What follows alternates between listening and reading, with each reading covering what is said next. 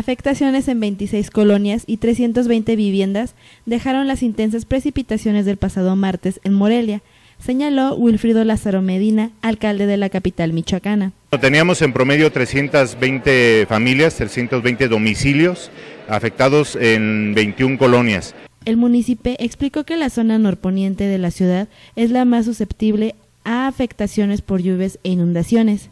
Se nos han afectado en promedio 26 colonias, de manera más fuerte las de la hondonada acá de Tres Puentes, eh, Carlos Salazar, eh, mm, Prados Verdes, eh, Primo Tapia Poniente, Manantiales, Jaujilla, Higueras. Pese a que los niveles de los cauces de agua en Morelia están a la baja, el riesgo aún no termina.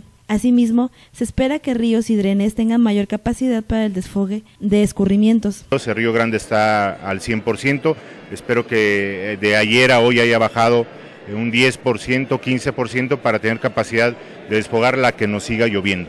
Lázaro Medina glosó las actividades de limpieza en las colonias afectadas por escurrimientos y precipitaciones. Lavamos todas las calles eh, con hidropipas eh, y se desinfectaron también. Hay un cerco sanitario casa por casa para efecto de revisar las condiciones en las que están todas las familias. Aunque la emergencia ya terminó, lo que ocasionó la desactivación del plan DN3 del ejército mexicano, el municipio continúa en alerta ante los pronósticos de nuevas lluvias y por el posible desfogue de la presa de Coincio, que se encuentra al 92% de su capacidad. Con información de Fátima Paz, informa Cuasar TV.